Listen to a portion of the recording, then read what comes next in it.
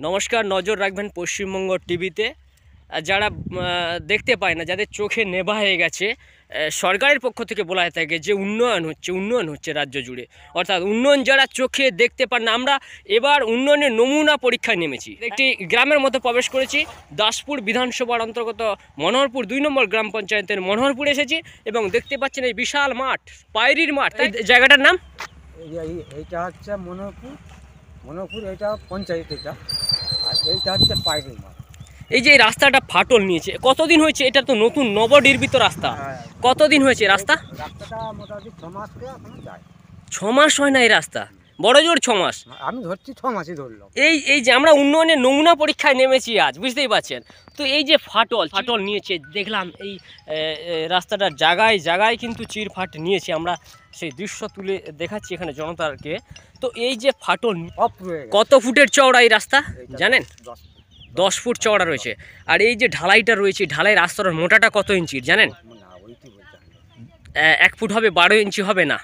মোটামুটি যে ছয় ইঞ্চির যে পাটা ছয় ইঞ্চি ছয় ইঞ্চি হ্যাঁ। সেই পাটার মতো ছয় ইঞ্চি। তো দর্শক এই যে কংক্রিটের যে ঢালাইটা।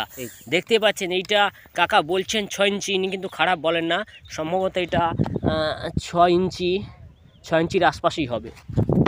তো কেন এই দৃশ্য আমরা তুলে ধরছি? আমরা দেখাতে চলেছি এই দৃশ্য কেন আপনাদের? এখানে আমরা প্রশাসনের দৃষ্টি আকর্ষণ করতে চাই কারণ আমাদের কাছে একটি একটি গুরুত্বপূর্ণ মারাত্মক তথ্য রয়েছে যেটা খাঞ্জাপুর গ্রাম পঞ্চায়েতের মধ্যবর্তী একটি জায়গায় রাস্তা তৈরি হচ্ছে যেটা খাঞ্জাপুর গ্রাম পঞ্চায়েতের অন্তর্গত শ্রী রামনগর হইতে একদম ভীমতলা কিসমত ভীমতলা পর্যন্ত দীর্ঘ পাঁচ কিলোমিটার পাঁচ কিলোমিটার দুশো দশ মিটারের রাস্তা তৈরি হচ্ছে।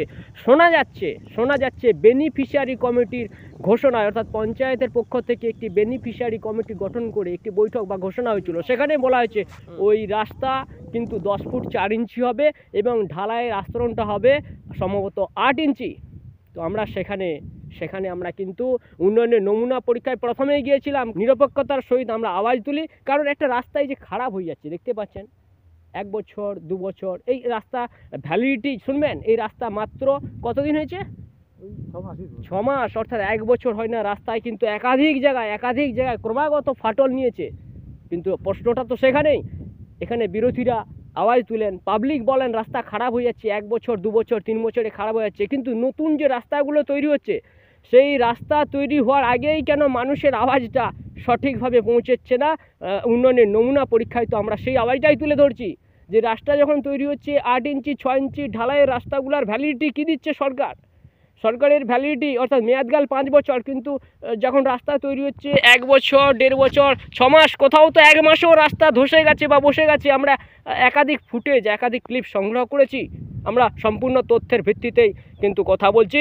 ইনভেস্টিগেশনের দায়িত্ব সরকারের। কিন্তু এই যে নতুন নতুন রাস্তা তৈরি হচ্ছে, সেটা জানি না আমি এখানে কী সিঁড়ি লুকিয়ে রয়েছে পথশ্রী না রাস্তা সিঁড়ি, রাস্তা তো সিঁড়ি হরণ হয়েছে, বা প্রধানমন্ত্রী গ্রামীণ সড়ক যোজনা যাই হোক না কেন, রাস্তার দীর্ঘমেয়াদী যে একটা টেকসইকে মাথায় রেখে কেন আসন্ন একটা সরকারের মেয়াদকাল পাঁচ বছর, তাহলে রাস্তার ভ্যালিডিটি কেন পাঁচ বছর, দশ বছর হবে না?